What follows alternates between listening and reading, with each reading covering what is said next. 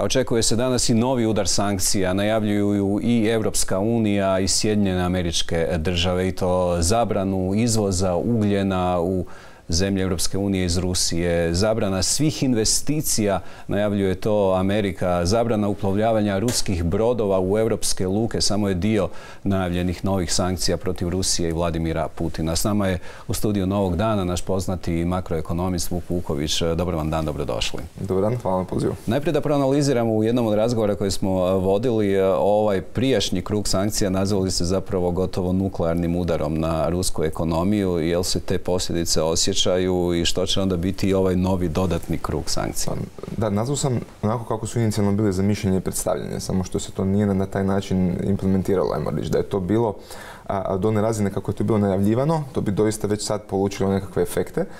Međutim, mi vidimo i dalje da europske zemlje kupuju naftu i plin od Rusije i to je ono što biti njima financira njihovu, njihovu ovoga, potrošnju, između ostalog financira i, i izdatke za vojsku. Ne? I ono što im omogućilo, što, je zanimljivo, kako su sad pali, dramatično je pao ovoga, njima uvoz, ne? zato što su zatvorene hrpu, hrpu firmi i zašto i tako dalje. Izvoz im je čak i rastao, upravo zbog, zbog potražnje za energentima, tako da ono, zato im se rublja do jedne razine stabilizirala, odnosno počela se vraćati. Ono, plus tu su bili kapitalne kontrole, plus ona Putinova ideja od koje prvo išao pa je odustao, ali zapravo su napravili istu stvar jer su natjerali kogod želi kupovati naftu da otvori račun u njihovoj banci gdje, koja onda naravno stvara tu umjetnu potražnju. E sad, u tim novim sankcijama spominje se i zabrana, odnosno uvrštavanje na listu zabrana banaka koje posluju na svjetskom tržištu i Gazprom banka. Amerika najavljuje i taj potez. Što će to onda značiti za to najavljeno plaćanje u devizama, odnosno zahtjev Rusije da se plaća u rubljima? Da, pa to je ono što je trebalo napraviti odmah po meni. Dakle, način na koji su sankcije najavljene nije implementiran do kraja. Dakle, ovo je sad se ide konačno u tom smjeru, biti da se na svaki način odreže u biti ruska ekonomija upravo zbog, zbog agresije koju, koju rade, koju vidimo na šta, na šta to e, izgleda. I sad, poanta je ne samo to, nego i ova recimo zabrana odnosno blokiranje njihovog mogućnosti plaćanja ovoga obveznice i kupona na obveznice, gdje će Rusija onda mora to financirati iz internih rezervi Idemo to posebno proanalizirati. Dakle, Telegram objavljuje jutros jedan tekst koji zapravo kaže ovo je najava mogućeg bankrota Rusije. Govorilo se o tome i prije, ali ovog puta, dakle, zamrznute su devizne rezerve u europskim i američkim bankama, ali iz tih deviznih rezerva se do sada zapravo mogao na neki način servisirati dug kojeg su imale e, ruske kompanije ili ruska država. Sada se zamrzava i ta mogućnost. Stiže na naplatu, e, čini mi se, obveznice, državne obveznice u vrijednosti od 600 milijuna dolara ako se ne mogu platiti iz tih sredstava koje su zamrznute uh, u bankama, što će to onda značiti za Rusiju? Pa, dakle, da, dovodi ih se de facto do, do, do ruba bankrota. Mislim, njima su rating agencije već onako srezale uh, vrijednost na uh, ovoga, vrijednost, odnosno rating njihovih države na, na junk, jel, njihovih obveznica. Um, tako nemogućnost plaćanja i dalje dovodi onda u, u dodatne destabilizacijske pritiske na ekonomiju. Konkretno imate, onda će doći do dodatnog pritiska na devalvaciju rublja, na devalvaciju valute. Jer ako vi ne možete ono iz nekakvih svojih vlastitih sredstava, morate ići u rezerve, ako nema ni toga, onda morate ići nekako inflatornu, inflatorni način e, plaćanja, što znači da povećavate opet pritisak i na rublje i na, i na inflaciju u ekonomiji njihovoj koja je već isto tako dosta velika i viša nego što je u europskim zapadnim zemljama. tako da to ih opet gura u dodatnu destabilizaciju. Znači njima se pokušava se s tim financijskim mjerama ih dovesti do, ono, do, do, do situacije da se kaže ok, ajde sad ono, e, prestanite, znači bilo je dosta mislim da, ono, kad gledate na koji način će se to odraziti, mislim da Putin tu, odnosno općenito njihova strategija ne vodi računa nešto previše o, ovaj, o tim troškovima. Jel? Dakle, oni su išli u rat neovisno o činjenici da će ih, da će ih ovo financijski stiskat. I što se vidjelo po njihovoj potrošnji ovoga, na vojsku i prije samog rata. Dakle, oni su to već planirali, to su pripremali i zato kažem da je glavna, glavni faktor ovdje upravo ta i dalje mogućnosti kupovanja dakle, njihove nafte i plina. Mislim da opet s druge strane problem europskih zemalja je da ne možete vi tek tako se prebaciti na novog dobavljača, to smo bili isto razgovarali prije. Dakle, ne možete u jednom trenutku sad ono, od danas do sutra promijeniti od koga ćete nabavljati, ovaj, od koga ćete nabavljati naftu i plin, dakle to će trajati, a dok to traje Rusija će imati izvore prihoda kojima će moći u biti financirati dalje svoju ratnu potrošnju. I to je sad problem. Jel? Dakle, Putin stavlja ono sve, sve ovaj, ajmo reći, u jednu košaru, dakle sve svoje financijske resurse u jednu košaru. Um, pritisci koji dolaze izvana, mislim da nisu još dovoljno jaki da ih, da ih sruše, ali treba, treba se ići u tom smjeru. Znači, ova, jedan od, jedan od uh, načina da se to napravi je upravo kroz ovo uh, blokiranje plaćanja obveznica. Što znači najava zabrana uvoza ugljena, odnosno zabrana izvoza iz Rusije za europske zemlje i Ameriku? Pa gledao sam, nije on toliko velik, um, znači, neće i to toliko jako udariti kao što bi bila zabrana plina i nafte, da, se, da budemo odmah realni. Ne? Dakle, plin i nafta su uglavnom, znači oni imaju 50% izvoza njihovog je u Europskoj, nafte u Europskoj uniji, 75% plina u Europskoj uniji. Dakle, to su glavni njihovi izvori prihoda za ta dva energenta. E, ugljen je opet, Europska unija tu značajan udio, ali on ne čini veliki udio njihovih stvarnih, prihoda, odnosno priljeva, e, priljeva sredstava, tako da mislim da ih to neće toliko jako pogoditi, ali ono, idemo u tom smjeru meni je jasno zašto Europa još uvijek to nije napravila, znači i Europa ima potražnju za energentima, ali e, u ovom ovoj situaciji moramo ono birati, hoćemo ih e, pokušati što prije zaustaviti da se taj rat e, spriječi, da se ova, ovi zločini koji se događaju spriječe, ili ćemo ovaj, ono, jedni i drugi, jer ovo na kraju ne, dovodi nigdje, niti njih, niti, niti se Ruse destabilizira i destimulira do kraja, a Europa opet pati ono, zbog, zbog naprosto rasta cijene energije. Još dvije stvari koje su nove u ovom krugu sankcija, barem se tako najavljuju, je potpuna, potpuna američka zabrana stranih posebno američkih investicija u Rusiji. E, koliko to pogađa rusku ekonomiju? Pa sad, e, gledao sam isto podatke, oni jesu imali jedan pristojan udio, ajmo to tako reći. Mislim, veći je tu udio europskih, da se, da se odmah razumije investicija, nego američkih. E, I amerikanci su tu puno, puno zato što opet njihova ovisnost prema Rusiji je manja. Jel? Dakle, i samog uvoza, mislim da je njihovo, gledao sam, dakle, oni su uvozili ruske nafte i plina oko 3% samo u svojem ukupnom uvozu nafte. tako da to nije puno, znači oni, to mogu, oni su to već i, i zaustavili. Slično s investicijama, dakle tu postoji određena, određena razina. tako da ono, Dakle, svaki taj korak hoće na neki način destabilizirati Rusiju, odnosno gura ih u daljnju destabilizaciju, ali mislim da će konačan udarac biti upravo blokada e, energenata. E, I još jedna nova stvar je zabrana uplovljavanja ruskih brodova u europske luke. E, koliko je to ekonomski, a koliko je to politički potez ili odluka? To, to, to je znači direktni udarac na ove supply chainove, znači na lance, dobave, lance nabave, što je isto opet bitno.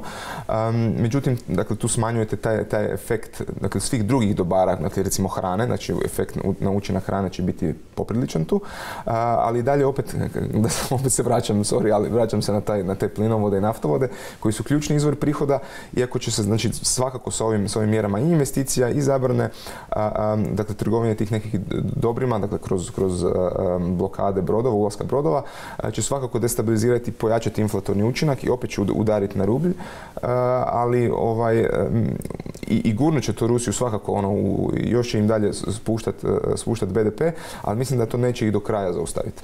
Zanimljivo da završimo taj blok oko sankcija.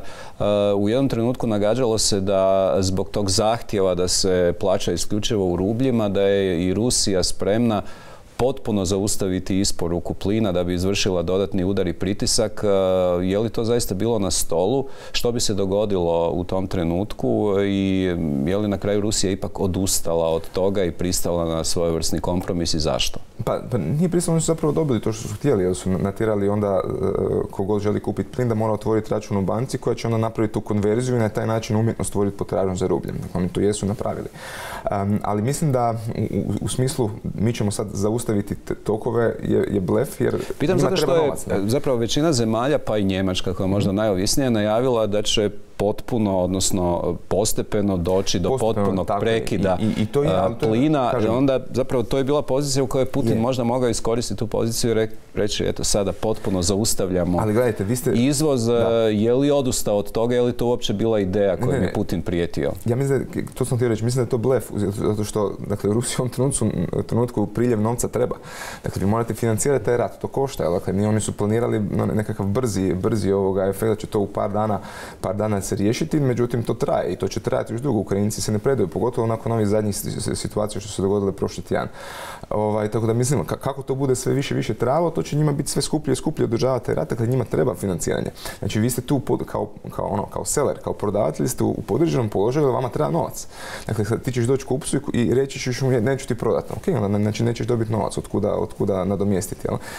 Kina i Indija nisu naprosto dovoljno, nema, nema tolike potražnje, znači recimo Indija je konkretno povećala, mislim da sam čitao tri puta e, kupovinu ruske nafte, ali Indija vam je bila 3%, ne, 1% prihoda, sad je 3% prihoda. Dakle, nije, dakle, nije puno. Jel? Idemo na domaći teren i sankcije, dakle nekoliko kompanija koje su uh, u problemima, Brodosplit, Đuro Đaković, uh, što je sa PPD-om? Jedna od tema je zapravo tko je zapravo vlasnik PPD-a, je li to ruski kapital i uh, primjenjuju se opće europske sankcije protiv Rusije u Hrvatskoj ili ne? Pa da, dobro pitanje, ovoga, nisam siguran, znači neću sad ulaziti u to ko, ko, čiji su oni igrači ili nisu, ali smatram da isto tako mi smo imali tu stratešku ovoga, ovisnost o Rusima, što, što, se pokazalo da nije dobro. I, i Hrvatska isto tako bila izložena, kao i hrpa europskih zemalja, tim nekakvim, ovoga, ajmo reći, suptilnim načinima utjecaja kroz, kroz ekonomiju, kroz recimo političke snage, kroz NGO sektor i tako dalje, dakle pro-putinovskih ili direktno putinovskih struja ili ajmo, ajmo tako reći financiranja. I to se, sad, to se pokazuje ovo, kao jedan neodrživi model i mislim da će se to mijenjati u sve više tih europskih zemalja i dakle kad gledamo strateški, mislim da je tu Putin općenito napravio jednu veliku grešku. Jel? Znači on je do sada uh, uspjevao svoj, svoj interes gurati kroz hrpu europskih zemalja, pa tako i kroz nas. Uh, djelomično negdje više, negdje manje, očigledno. Jel? Ali ovaj, to će sad postati sve teže i teže, naprosto zbog ovih okolnosti primjenjuju li Hrvatska sankcije u ovom slučaju? Pa ja mislim da da. Mislim, mislim, sad u ovom konkretnom slučaju nisam siguran, ali, ali mi se tu vodimo u biti onim što radi, što radi Europa. Dakle, opet, ako ćemo morati uvoziti kao što uvozi Europa, onda ćemo to raditi. Ne? jedna od, naravno, tema je i rekonstrukcija vlade. Jedan od ministara koji dolazi, koji je ovih dana u fokusu zbog imovinske kartice je upravo povezan sa i ruskim kompanijama. Je li to bio problem za imenovanje u vladu?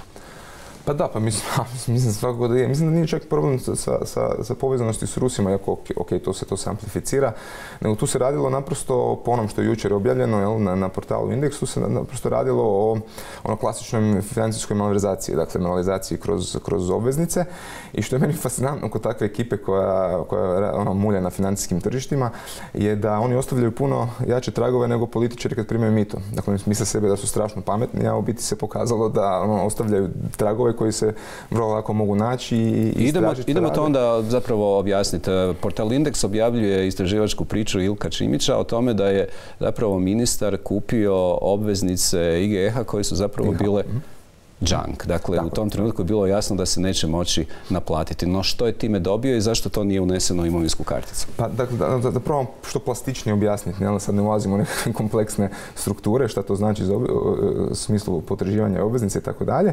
Dakle, ideja toga je, dakle, kad kupite nešto što je tako, što je tako bezvredno, dakle, ideja toga je da ono kroz to pokušate ostvariti, pokušate ući u imovinu na kojoj, ono, želite naprosto dobiti imovinu kroz, kroz takve ulaganja. Ta imovina je konkretno ono u Splitu što, smo, e, što, što je pisalo u članku. dakle, tu se radilo naprosto o, o pokušaju... Prije svega za koliku mhm. vrijednost se kupuju te obveznice koje su na neki pa, način u, u, u, formi junka, odnosno discountu. Znači, to je, je junk, znači da je discount ogroman. Discount znači da je, da je e, puno manja vrijednost nego što je ona nominalna, nominalna vrijednost. I tako je. Dakle, recimo, mislim da se ovdje radilo, zaboravio sam, ali nekakvih 20% tako nešto, e, nominalne vrijednosti. Znači, vrlo nisko kupite potraživanje na temelju kojega vi možete e, steći e, vlasništvo u visoko vrijednoj nekretnini. To je poanta priče. Znači, takav, takav tip financijske monetizacije se radi. to nije strano na, na hrvatskom tržištu kapitala, nažalost, to se događa. Ovaj, ali kažem, ti ljudi za sebe smatraju da, da, ono, takve stvari mogu proći ili javnosti su nepoznate, ali sad kako se otkrivaju, to će biti sve, sve teže skrivati. E, još jedan detalj otkriva Vedrina Pribičević na svojem Facebook profilu kaže zanimljivo kreditni plasman koji je dobio ministar iz e, Podravske banke iznosi gotovo 1% cjelokupnih kreditnih plasmana te banke. Da, mislim da postoji ograničenje, mislim da je ograničenje gornje do 10% da se može biti izloženo prema jednom komitentu, ali opet to je puno, dakle da se razumijemo, 1% prema jednoj osobi, dovoljno, nije Podravska banka toliko velika, ali opet svejedno mislim da je to, da je to definitivno previše.